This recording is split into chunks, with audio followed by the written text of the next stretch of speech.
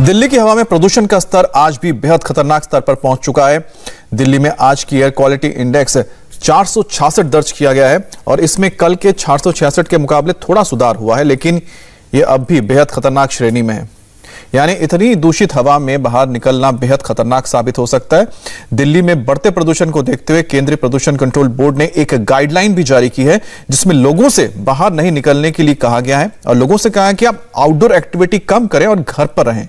हवा इतनी घातक है कि दिल्ली के अस्पतालों में ओपीडी मरीजों की संख्या पच्चीस तक बढ़ गई है। करीब पंद्रह दिनों से दिल्ली का यही हाल है और पिछले दो दिनों में हालत और ज़्यादा बिगड़ गई है।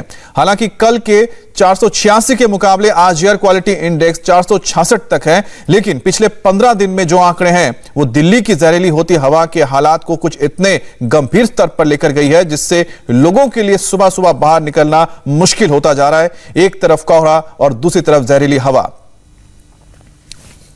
पॉल्यूशन कंट्रोल के लिए जो स्मोक टावर लगाए गए हैं वो किसी भी तरह से काम नहीं आ रहे हैं। पूरी तरह से वो फेल साबित हुए हैं दिल्ली के अंदर। इंडिया टीवी, हर वक्त, हर जगह। डाउनलोड करने के लिए सर्च करें India TV news, Google Play Store या एप स्टोर पर।